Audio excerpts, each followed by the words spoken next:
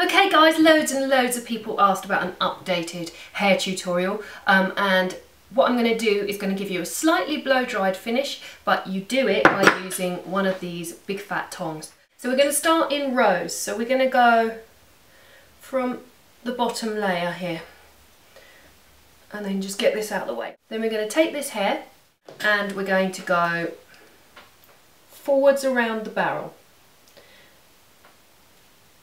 You're going to need to put some hair protectant on beforehand because these get very, very hot and they will burn your hair and we have seen the video of the girl whose hair burns off. Okay, so then we're just going to let that go and let it fall out like that.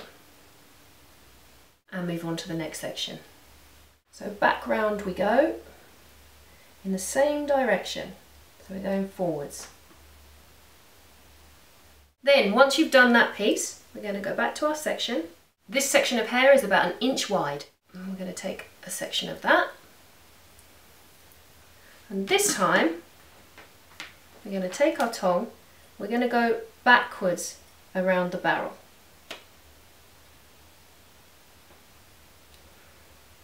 Now what this will mean is that all the curls won't loop into one big curl.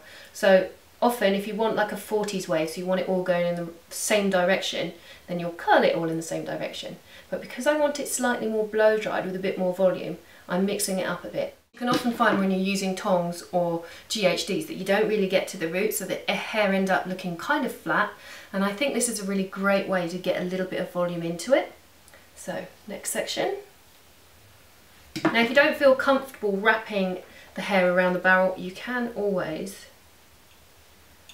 Oh, my hair's a bit long now, but let's try that again, shall we? You can always wind it up around the barrel. I know some people prefer to do that. Then we'll go to the next section of hair and we'll do the same thing but going in the opposite direction. So the same way we were going the first time round, underneath and around we go this way.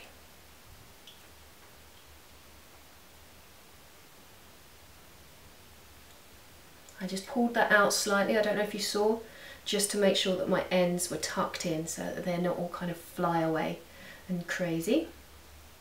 And then out it comes. Now to do all of that, it has taken me about 15 minutes. Now, what do you do with the front? Well, it depends what the front's like. For me, the front of my hair is kind of long because I had a fringe and then I grew it out. Don't put the tongs on it because it's going to go crazy if it's this length and you won't be able to do anything to it. So you can either blow dry it straight and take it over to that side or you can take it over to that side which is my preferred side as you can see it lays better on that side.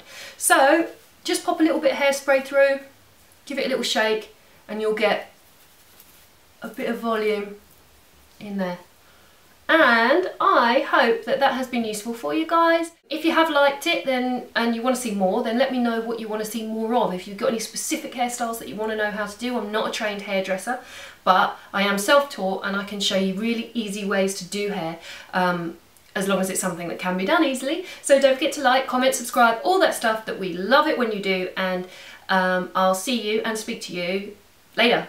Bye bye!